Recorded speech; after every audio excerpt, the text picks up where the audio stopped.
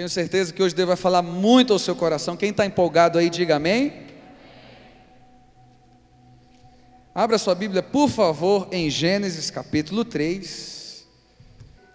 Quem não sabe, Gênesis é o primeiro livro da Bíblia. Né? É importante a gente falar. Tem gente que não sabe, mas hoje você está aqui para aprender. Quem achou, diga amém. Diz assim a palavra do Senhor: A serpente era o mais astuto de todos os animais dos campos. E Yahvé, Deus, havia feito. E aconteceu que ela questionou com a mulher. Então foi isso mesmo que Deus falou? Vós não podeis comer nenhum dos frutos da árvore do jardim? Ao que declarou a mulher à serpente: Nós podemos comer dos frutos das árvores do jardim, mas do fruto da árvore que está no centro do jardim, Deus disse: Dele não comereis, nele não tocareis, para que não morrais. A serpente, então, alegou a mulher. Você imagina uma cobra falando, né, irmãos? Com toda certeza não morrereis. Ora, Deus sabe que no dia em que dele comerdes, vossos olhos se abrirão, e vós, como Deus, sereis conhecedores do bem e do mal. Quando a mulher observou que a árvore realmente parecia agradável ao paladar, muito atraente aos olhos e, além de tudo, desejável para se obter sagacidade, tomou do seu fruto, comeu e deu ao seu marido que estava na sua companhia. E ele igualmente comeu. Então os olhos dos dois se abriram e perceberam que estavam nus. Em seguida, entrelaçaram folhas de figueira e fizeram cintas para cobrir-se. Naquele dia, quando soprava a brisa vespertina, o homem e sua mulher ouviram o som da movimentação de Yahvé, Deus, que estavam passeando pelo jardim e procuraram esconder-se da presença do Senhor entre as árvores do jardim. Mas o Senhor Deus chamou, indagando: Onde é que estás? O homem declarou: Ouvi o teu caminhar no jardim, e vendo que eu estava nu, tive receio, por essa razão me escondi. Então Deus disse: E quem te fez saber que estava nu? Comeste então da árvore que eu te proibi comer? Replicou o homem: Foi a mulher que me deste. Botou a culpa na mulher, irmãos. Ela me deu do fruto da árvore e eu comi. Ao que o Senhor Deus inquiriu a mulher: O que é isso que fizeste? E a mulher disse: A serpente me enganou e eu comi. Então Deus determinou a serpente: Porque fizeste isso? És maldita entre todos os animais domésticos, e és entre todos os animais selvagens, rastejarás sobre o teu próprio ventre e comerás do pó da terra todos os dias da tua vida.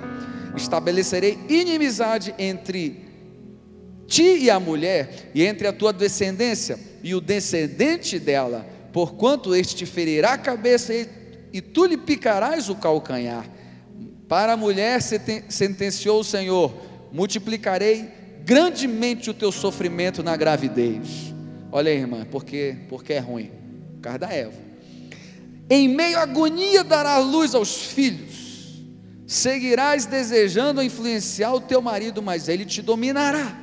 Então voltou-se para o homem e ordenou: Porque escutaste a voz da tua mulher e comeste da árvore que eu te proibi comer, maldita é a terra por tua causa com sofrimento obterás do solo o teu alimento todos os dias da tua vida.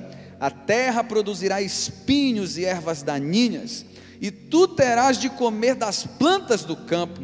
Com o suor do teu rosto comerás o teu pão, até que voltes ao solo, pois da terra foste formado, porque tu és pó e ao pó da terra retornarás. Amém? Todo mundo conhece aqui a história do início do Gênesis se você não conhece ela biblicamente, de repente já ouviu até ela em modo de conto de fadas, né? Já ouviu ela em forma de piada, já viu ela em um stand-up, você já ouviu ela de várias formas. Mas o que eu quero refletir com você nessa noite, querido, é que todos nós, do mais jovem ao mais velho, do mais santo ao pouco santo, do que tem três dias de igreja, de convertido, a quem tem 30, a quem tem 50, todos nós estamos sujeitos a quedas, estamos sujeitos a dar um tropeço e não alcançar a vitória que Deus tanto quer para a nossa vida. É por isso que lá em 1 Coríntios 10, 12 vai dizer: aquele que está em pé, cuide-se para que não caia, porque todos nós estamos sujeitos ao erro. Né? E o que eu acho interessante aqui, queridos, é que Deus criou o homem. Quando Deus criou o homem, ele fez depois o quê? Ah, vou criar os animais. Aí fez os animais. Sabe o que eu acho engraçado? Que quando ele fez os animais, o que, que ele, ele falou assim? Ó, esse aqui tem cara de elefante, é gordinho, elefante, leão, vaca. Deus não fez isso, ele falou assim: chama o homem e ele vai dar um nome. É verdade, quem deu o nome foi o homem, não foi Deus. Deus só fez um milagre. Está aqui, ó, está aqui o elefante, está aqui o leão. Dá o um nome para ele, e foi leão. Está aqui, foi o elefante. O homem foi co-participante de um grande projeto de Deus. Sabe o que eu aprendo aqui desde o Gênesis? Que Deus nos dá poder de escolha. Desde o Gênesis, Deus falou assim: Olha, eu criei um jardim muito legal, é melhor do que qualquer parque aquático do mundo. É esse lugar aqui, é o Éden. E aqui, olha, você tem muitos frutos bons que você pode, olha, comer livremente, aqui é muito bom. Mas tem um ali, ó, que você não pode tocar. Naquele não pode, porque no dia que você provar você vai morrer. Mas o resto, ó, é legal. O que, que eu aprendo aqui? Deus está dando o que? Livre arbítrio, decisão. Talvez você está aqui nessa noite e, e diga assim: ah, mas eu não vejo muitas coisas acontecerem na minha vida. Talvez seja fruto das suas decisões. Deus hoje está falando para você: você precisa decidir. Você precisa decidir, como um pai, como um, um, um, homem de casa, a ser uma referência de homem de Deus. Você, como filho, hoje precisa decidir: eu vou ser obediente aos meus pais. Eu, você precisa, hoje, como um cristão, dizer: hoje eu decido buscar mais a Deus, e as coisas vão fluir a partir da sua decisão ou não. Todos nós estamos sujeitos a quedas, e muita gente teve uma queda no relacionamento com Deus. Você pode dizer assim: ah, mas antes eu buscava tanto a Deus, eu vinha para um culto desse e cantava, eu chorava, agora eu não, eu não acontece mais isso, porque se distanciou de Deus, caiu, de repente caiu no pecado, caiu na insubmissão à liderança, no propósito de vida e no pior, irmãos, nas armadilhas de Satanás. E o que eu quero dizer para você, que nem mesmo as mais intensas guerras mundiais, nem mais as imensas revoltas populares desse mundo e da história se comparam à queda do homem em suas consequências, que foi registrada no Gênesis. Mas por que eu estou falando isso para você? Eu estou pegando algo do passado para que a gente venha para o futuro e tenha uma alerta para o presente. Satanás não é criativo. Ele é sagaz. E a mesma coisa que ele fez lá no início, ele faz até hoje. E Deus te trouxe aqui para dizer: Eu quero evitar que você venha cair. E eu quero aproveitar e profetizar. Todos aqui já são mais do que vencedores em nome de Jesus. Você vai vencer. Isso aqui não é a frase para te deixar emocionado, são palavras proféticas. E eu quero extrair alguns princípios desse texto para que a gente possa evitar. A palavra de Deus ela é preventiva na nossa vida. Queridos, no capítulo 3 do versículo 1, você vai ver que a serpente, ela tipifica aqui Satanás, o inimigo. A Bíblia vai dizer em João capítulo 10, versículo 10, que o ladrão veio para roubar. Vamos lá, veio para roubar, A parte B diz: Mas eu vim para que tenham vida e vida em abundância. Esse é o papel do diabo. Talvez você está aqui, ah, eu não acredito no diabo. Está igual a história do, do pastor que ia ser consagrado a pastor. E no concílio dele, ele disse assim: Eu não acredito no diabo. Não, eu acredito na carne, na tentação e tudo mais. Aí depois o grupo de pastores ficou em dúvida se aprová-lo ou não. Como ele não acredita no diabo. Aí um pastor mais experiente falou assim: Vamos fazer o seguinte, vamos consagrar ele. Presta atenção. Ele vai ser consagrado hoje. Amanhã ele vai saber que o diabo existe. Porque, meu amigo, a tentação é forte. E ele vai ver. O que, que ele estava querendo dizer? Que na experiência dele, ele ia ver que realmente o diabo existe.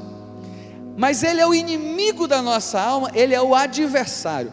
A Bíblia não relata aqui como foi de fato é, essa personificação. A gente sabe que é Satanás.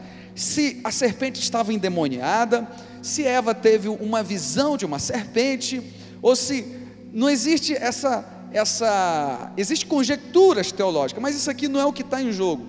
A Bíblia vai dizer aqui que Satanás chegou para Eva para questioná-la.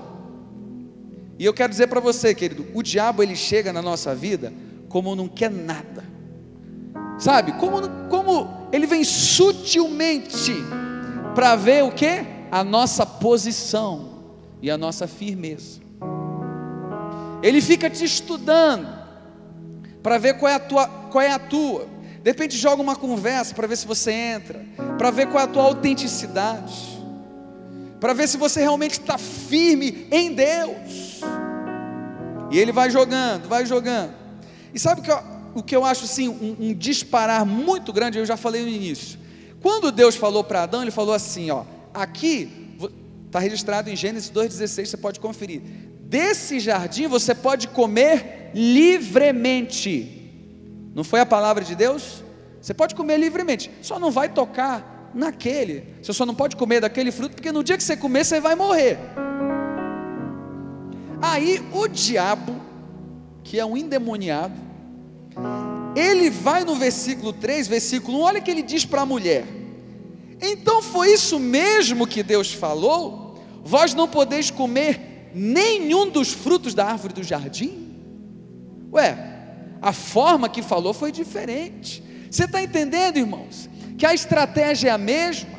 Você já viu aquelas pessoas que dizem assim: ah, é verdade que quem é crente não pode fazer nada, não se diverte, não vai para festa, não faz isso, não faz aquilo. E Deus nunca disse isso.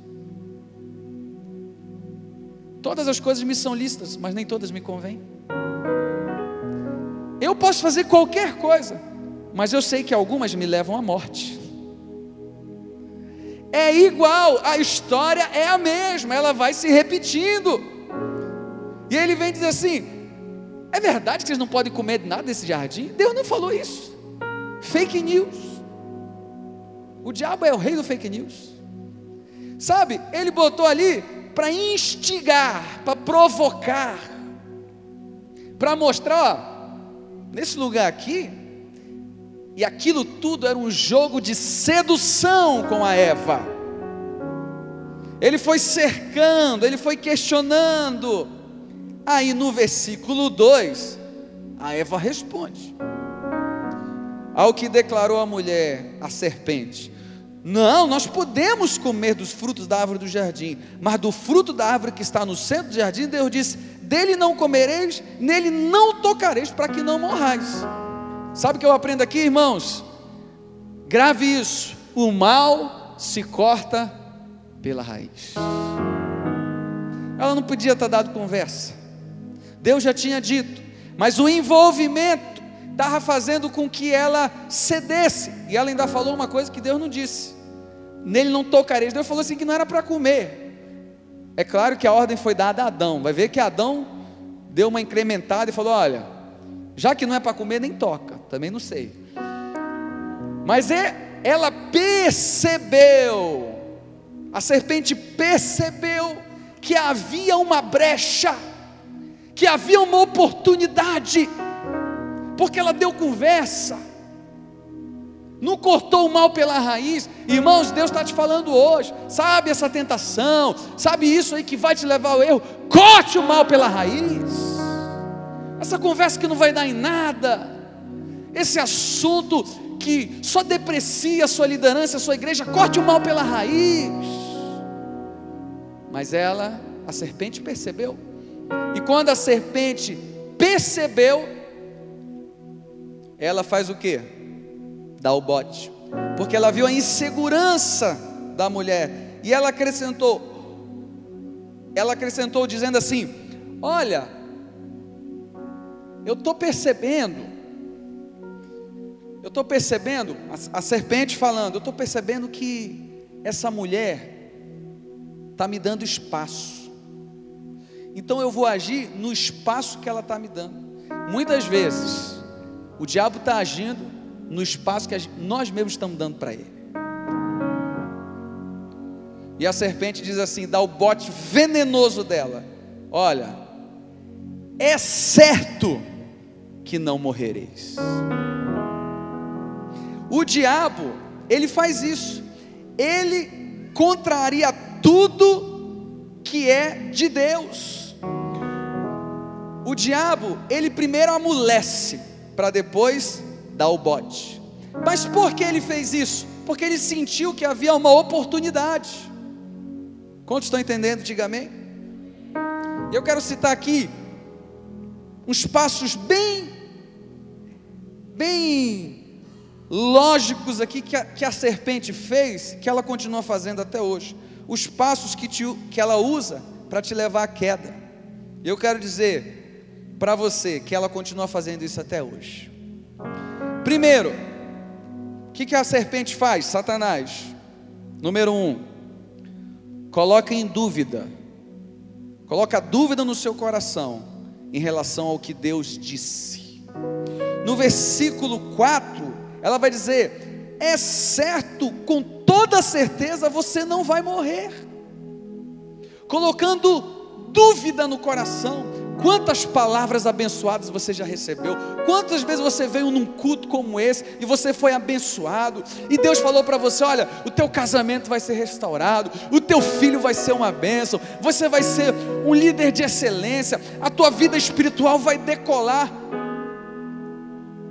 Mas muitas vezes isso não aconteceu porque a dúvida entrou no coração. E quando a serpente fala para Eva: Olha, não vai morrer, não. O papel do diabo é contrariar a vontade de Deus, é dizer aquilo que Deus não disse. E o diabo, ele usa meia verdade, chamada de sofisma. A estratégia de Satanás ali no Éden ela foi em doses venenosas, assimiláveis, progressivas e fatais. Foi isso que ele fez. Ele foi aos poucos. E ele chegou com uma meia verdade, diz assim: "Porque Deus sabe que no dia que você comer desse fruto, vocês serão conhecedores do bem e do mal". Eu pergunto a vocês, irmãos, isso era uma verdade? Era uma meia verdade, mas nesse quesito era uma verdade. Eles seriam conhecedores sim do bem e do mal, mas o diabo falou só a parte boa. Vocês serão como Deus. E gerou dúvida no coração. Ah, queridos, Deus já te falou tanta coisa. Deus já fez tantas promessas na sua vida. Mas a dúvida entrou e impossibilitou delas se realizarem. Nós precisamos nos alicerçar pela fé. É a fé. Não existe vida cristã se não for pela fé. Costumo dizer que Deus me deu a graça e o dom de, de, de falar em público, de, de me relacionar com as pessoas, mas dentro de casa, essa ousadia não está comigo, irmãos, está com a minha esposa. Quantos aqui são pai e mãe? Levanta a mão. Quantos já viram o filho com febre ou com uma dor e disseram assim: Deus, passa a dor dele para mim. Pois é. Recentemente o Mateus está por aí, ainda está por ali. Sempre tem problema de otite e muita dor no ouvido. Aí, ah, põe remédio. E meio de madrugada, irmãos, assim, quando acorda a gente, a gente chama Jesus de Genésios, né? A gente não sabe muito bem onde a gente está. A gente fica meio perdido. Ah, vai lá, coloca um remédio e tal. E ele com muita dor, a dor não passava. Eu falei assim: ah, estou para levantar e eu estava acompanhando. vamos botar um remédio, ver se não tem febre e tudo mais. Vamos levar para o hospital. E a Dani, minha esposa, como muitas e muitas vezes já fez, colocou a mão no ouvido dele e orou falou: Em nome de Jesus, toda dor vai embora. Quando ela disse amém, ele estava dormindo. Literalmente, dormindo sem dor. Sabe por quê, irmãos? Vem pela fé. Se você achar, acho que não vai acontecer, não acontece mesmo. Não acontece mesmo. E é por isso que Satanás sabe disso. Ele quer colocar dúvida no teu coração. Ah, você é um homem de Deus, você é uma mulher de Deus. Aí ele vai dizer: Você não.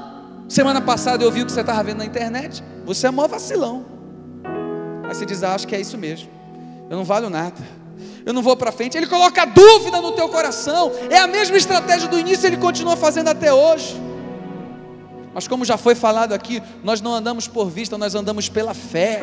E você é sim um homem de Deus, você é sim uma mulher de Deus, a tua casa é sim uma casa de paz, uma casa de milagres, uma casa de restauração. Tome posse disso e viva isso. Faça declarações de fé. Ah, irmãos, como isso como isso é poderoso, declarações de fé. Meu filho é uma bênção, meu filho é cheio do Espírito Santo. Não tem um dia que eu não faça, que eu fale isso sobre eles. Mas o diabo quer colocar dúvida. Será que é isso mesmo? Você quer ver uma coisa, irmãos? Quando acabar esse culto, passar daquela porta, você chegar na sua casa amanhã, ele vai colocar dúvida em relação ao que você ouviu hoje.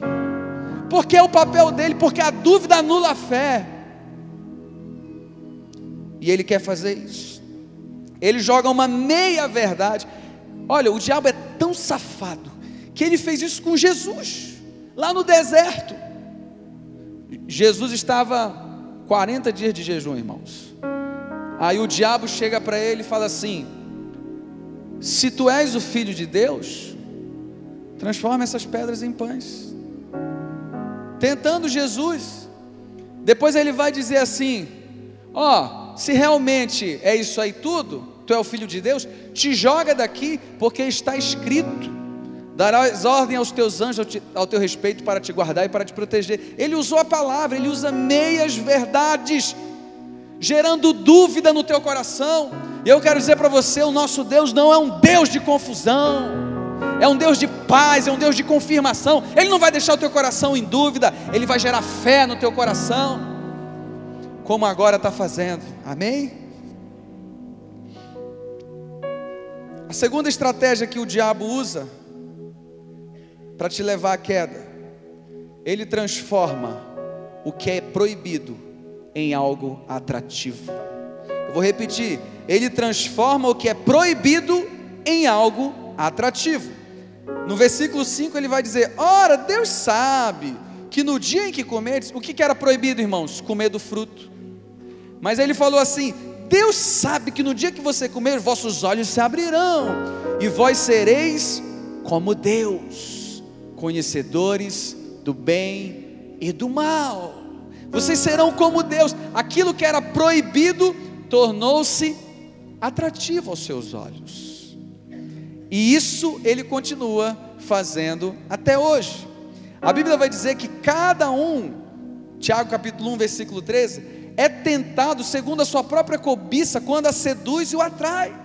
Então, naquilo que é a sua maior fraqueza, ele vai espetar ali. Ah, pastor, eu tenho um problema de ser nervoso. Pega o carro para dirigir aqui no Rio de Janeiro para tu ver. O Satanás vai espetar você, irmãos. Que aqui é difícil, irmãos. O povo, às vezes o cara é até crente, mas parece que quando ele entra no carro, não é nem o demônio que entra nele, ele que entra no demônio. O demônio tem medo dele. Que fica. É terrível. mas ele transforma aquilo que é proibido em algo atrativo. Ah, que legal! Olha, eu posso ser como Deus. Aí a ganância ó, tomou conta do coração. Você conhecedor, atrativo. Ah, eu quero, isso pode ser bom. Lá no teu trabalho, aquela gata olha para você lindo. Ela mentiu, né? E você acreditou. Sou lindo. Tamanho Shrek. Aí ele usa o que é proibido, atrativo. Aí você gera dúvida no seu coração. E aconteceu? O que aconteceu no início. Deus tinha falado: desse fruto você não pode comer, mas de repente se tornou atrativo. Se o homem soubesse o que há por trás do pecado, ele não pecaria. Ele não pecaria. No final, olha, você vai. É muito bom, mas no final você vai cair num lamaçal. Você vai morrer. Ah, então não vou entrar nisso. Mas ele não consegue ver, porque o que é proibido se torna encantador. E ele continua fazendo isso até hoje transformando aquilo que é proibido em algo atrativo. Aí ele vai e trabalha em você dentro do desejo, dentro da vontade. E a Bíblia diz que nós temos que matar a nossa vontade. Ah, mas eu estou com vontade. Vai, vai pela vontade para você ver. Quem aqui já acordou segunda-feira de manhã bem cedo, sem vontade de trabalhar? Levanta a mão. Tem irmão que deu glória ali. O que, que você fez, irmão? Você ligou para o seu patrão e falou: Vá se danar que hoje eu não vou trabalhar. Você não falou isso. Por que você não fez a tua vontade? Por que você não fez? E porque às vezes a gente fala assim: Ah, mas vontade, deu vontade. Não pode ser levado pela vontade. Às vezes a vontade vai te levar para o pecado, sim. Você tem que agir pelo princípio. Lembra da mulher de Potifar? Quando ela deu em cima do José, podia, ele podia pensar e dizer: Posso ficar com ela? Vou ter muito legal. Ela está dando em cima de mim. Mas ele disse: Eu não vou desagradar o meu Deus. Ele agiu pelo princípio e não pela vontade. E às vezes, querido, a vontade, ela junto com a carnalidade, se você não tiver é, mergulhado em Deus, pode te levar ao erro. E foi o que Satanás fez lá no início, e ele continua fazendo até hoje. E nós precisamos fazer aquilo que Paulo disse: eu sou como ovelha levada ao matadouro todos os dias, fazer matar a carne. Jesus disse: Rapaz, se for possível, passa de mim esse cálice, todavia seja feita a tua vontade. E muitas vezes a gente quer fazer a nossa vontade. E é o desejo. E ele continua fazendo, transformando aquilo que Deus falou para você, não faça. Não entre nessa sociedade, não ande com essas pessoas. Não converse sobre esses assuntos, porque as más conversações corrompem os bons costumes. Não assista a isso. Eu já te falei que isso é proibido, isso não vai fazer bom, bem para a sua vida, mas aquilo se torna atrativo para você. E a Bíblia diz que no versículo 6: quando a, a mulher observou que a árvore realmente parecia agradável, ao paladar, muito atraente aos olhos e, além de tudo, desejável para se obter sagacidade, tomou do fruto e comeu. E ali a queda do homem, ali a queda da humanidade, ali a morte, porque a Bíblia diz que o salário do pecado é a morte. Naquele exato momento há uma ruptura da comunhão de Deus com o homem, porque o homem foi levado pelo desejo. O homem naquele momento deu ouvido à voz da serpente e houve a maior queda de todos os tempos que nenhuma pode se comparar a ela que já aconteceu. Foi a primeira, mas foi a maior, porque ela trouxe morte. E o homem é expulso do jardim. E queridos, o pecado gera morte na nossa vida. E eu vou dizer para você: morto não vê, morto não sente, morto não ouve, morto nem adora a Deus. Você já viu aquelas pessoas que vêm para um culto e está todo mundo adorando a Deus? E ele diz assim: Eu não estou sentindo isso que o povo está sentindo, está morto.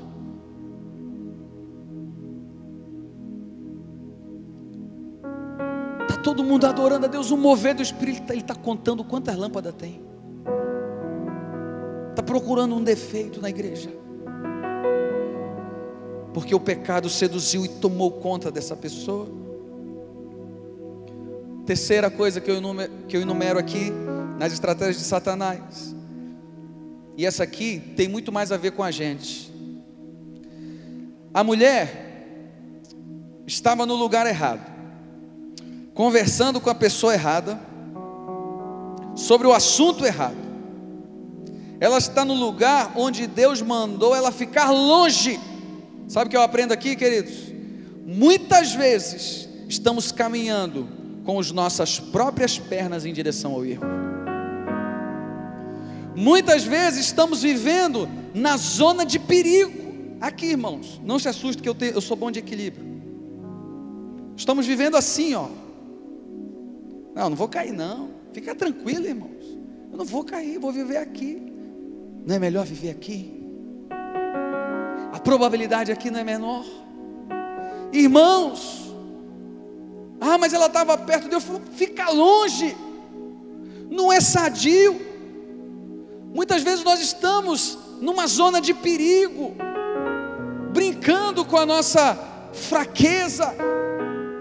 Em 1 Coríntios capítulo 6, versículo 18, Paulo recomenda a Timóteo, vai dizer: fugir da impureza fugir. E outra, eu vou falar para você: Deus não vai mandar você fugir de uma coisa que não seja maior que você. Se está fugindo é porque é maior. Ah, aquilo ali me leva a pecar. Estou longe. Eu não vou ficar perto, porque nós muitas vezes estamos colaborando para o nosso próprio erro. Eu sei que se eu me envolver com aquelas pessoas, eu vou falar mal da, do pastor, eu vou falar mal da igreja, eu vou falar, vou fazer, eu não me envolvo. Ah, se eu ficar muito tempo na internet sozinho, eu posso ver pornografia. Então eu não vou ficar, eu vou evitar, eu vou fugir.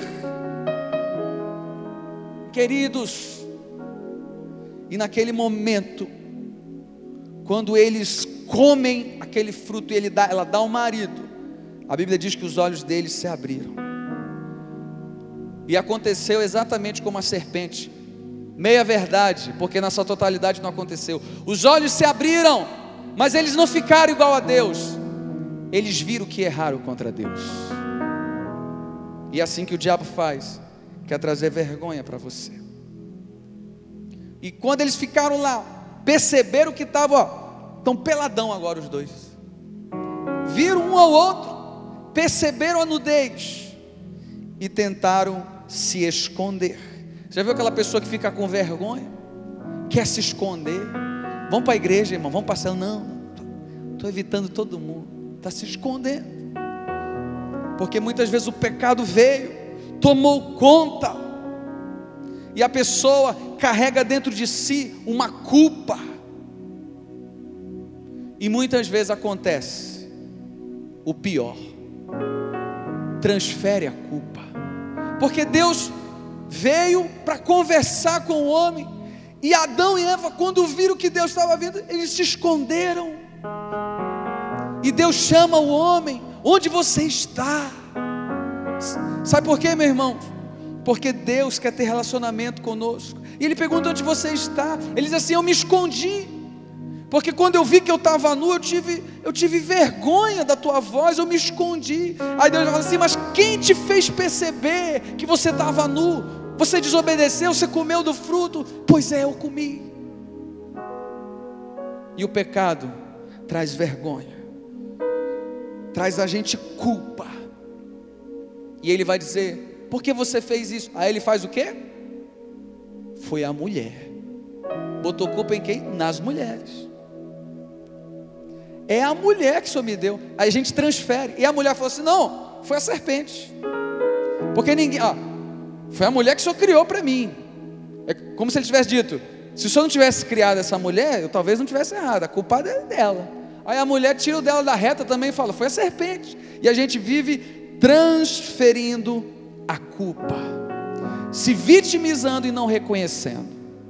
O que Deus quer falar para você nessa noite? Reconheça o erro. E o mais interessante, queridos, aqui é que os planos de Deus não são frustrados. Eu vou repetir: os planos de Deus não são frustrados. Naquele momento, Deus começa a dar sentença do erro. Aí ele fala para a serpente: Por que fizestes isso, maldita entre todos os animais? Aí no versículo 15, vem uma revelação. Ele diz assim: Estabelecerei inimizade entre ti e a mulher, e entre a tua descendência. Aí ele vai dizer: e o descendente dela. Quando ele fala o descendente, ele está se referindo a Jesus. Aí ele diz: Porquanto este, o descendente, te ferirá a cabeça, e tu lhe picarás o calcanhar. E essa promessa aqui foi cumprida lá na cruz do Calvário. Jesus esmagou a cabeça da serpente Lá no Gênesis, Deus já estabeleceu o plano de reconciliação, porque os planos de Deus não se frustram na nossa vida. Deus não quer que você venha cair, Deus não quer que você venha vacilar, mas se todavia isso acontecer, o sangue de Jesus nos purifica de todo pecado. O sangue derramado lá na cruz do Calvário, que foi dito aqui no Gênesis, o descendente dela, descendente de quem? Da mulher, Jesus, porquanto ele te ferirá a cabeça. Irmãos, na cruz do Calvário, Jesus já nos deu a vitória. Isso é maravilhoso. Ali no Éden, Deus já tinha restabelecido o plano, o plano de salvação. Sabe o que eu quero dizer para você? Que nós não precisamos ficar lutando contra a tentação. Nós não precisamos ser assim, ó oh, diabo, eu vou te enfrentar Olha a tentação, eu vou fugir, tem que fugir mesmo. Mas o segredo todo está em você se voltar para Deus. A questão não é ficar lutando contra o diabo, é seguir em direção à luz. As nossas famílias precisam estar untadas na presença de Deus. Nós precisamos vir para um culto como esse e dizer: Senhor, faz algo na minha vida. Eu quero sair daqui transformado. Eu quero sair daqui cheio da tua presença, porque tu, você cheio da presença, você vai estar fortalecido contra as armadilhas de Satanás. E é isso que Deus está fazendo hoje com você, fortalecendo a tua vida, trazendo palavra de revelação, gerando fé no teu coração, para que você saia daqui cheio da presença de Deus. Muitas vezes, irmãos, o diabo às vezes fica comemorando que a gente está afastado de Deus. Ele fala assim: olha, eu estou botando internet para eles, vou dar Wi-Fi. Isso não é, não é, do diabo, não, tá? Irmão? Não se assustem, não. Aí está todo mundo distraído. Ah, eles querem mais dinheiro, mais trabalho. Uh, que legal. Olha só, a família nem conversa mais. Uh, ele está comemorando como os amalequitas quando entraram em Ziclag, que roubaram as famílias dos, do, dos israelitas e foram comemorar. Os amalequitas representam representa Satanás. E ele estava comemorando, muitas vezes o Satanás está comemorando. Olha, eles querem trabalhar mais, não tem tempo mais para Deus. Uh! Estou comemorando. E o segredo não é esse, o segredo não é lutar contra o diabo, é se voltar para Deus é ter uma família de joelhos, é ser um coração comprometido com Deus, é chorar profundamente. A Bíblia diz: bem-aventurados que choram. Chorar, qual a última vez que você chorou pela tua família? Qual foi a última vez que você chorou diante da presença do Espírito Santo, dizendo: Senhor, me consome com a tua presença? eu quero ser cheio de ti. Isso sim é uma vida que você vai viver na plenitude do Espírito Santo. Davi chorou, Neemias chorou, Jesus chorou diante de Jerusalém. Meus queridos, evite a queda, mas se por, por algum momento da sua vida isso aconteceu, não deixe o diabo te acusar e fazer que você venha ter um complexo de inferioridade tão grande que não permita você andar em vitória com Cristo. Hoje ele te trouxe aqui para dizer: Eu esmaguei a cabeça da serpente lá na cruz do Calvário. Tome posse disso. Não deixe ele te acusar. Nenhuma condenação há para aqueles que estão em Cristo Jesus. Nenhuma. E hoje você vai sair daqui fortalecido do Espírito Santo. Amanhã, lembre-se que eu falei, o diabo vai querer colocar dúvida. Ele vai querer dizer aquilo que Deus não disse, porque Deus disse que você já é mais do que vencedor. Deus disse que você vai andar em vitória. Ele está dizendo, está tá rindo, está rindo de você. Mas você vai vencer, porque Deus já disse que você é mais do que vencedor. Ele já declarou. A Bíblia diz que Ele já nos abençoou com toda sorte de bênçãos nas regiões celestiais. Então eu só preciso, ó, nas regiões celestiais tomar posse. Eu sou mais do que vencedor. Eu vou viver essa vida de fé. Eu vou viver essa vida de milagre. O nosso Deus é um Deus que é especialista em mudar o ciclo da nossa vida. Ah, mas eu era uma pessoa tão nervosa. Deus te faz bom. Ah, eu era uma pessoa que eu não podia ver uma mulher que eu, eu ficava louco, Deus vai te fazer um marido fiel. Ah, eu era uma mulher chata, Deus vai tirar tua chatice, mulher. Eu era desobediente, Deus vai te tirar a desobediência. Eu tinha muito chulé, Deus vai até tirar o teu chulé. Deus muda qualquer pessoa. Ah, mas pau que nasce torto, Deus endireita. Ah, se ele é muito torto, ele quebra e faz outro. Mas ele vai fazer a mudança na tua vida. O segredo está nele.